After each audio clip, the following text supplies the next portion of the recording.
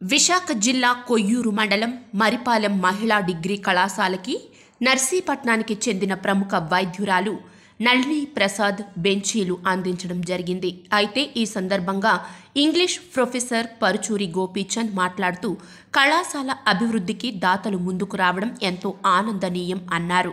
మరియు ఇంటర్మీడియట్ చదువుతున్న విద్యార్థినులు ఈ సందర్భంగా మాట్లాడుతూ ఈ బెంచీలు లేకపోవడం వలన గతంలో చాలా ఇబ్బందులు ఎదుర్కొన్నామని కూర్చోవడానికి కూడా ఇబ్బందికరంగా ఉండేదని. అయితే ఇంకొంతమంది దాతలు ముందుకు వచ్చి మాకు ఇటువంటి బెంచీలు అందించగలిగితే ఇంకాస్త మెరుగ్గా కూర్చొని చదువుకోవడానికి బాగుంటుందని తెలియజేస్తూ ఇంతటి చక్కటి సహకారం అందించిన ప్రముఖ వైద్యురాలు అయినటువంటి నళిని ప్రసాద్కి కాలేజీ యాజమాన్యం మరియు విద్యార్థినులు తరఫున కృతజ్ఞతలు తెలియజేశారు.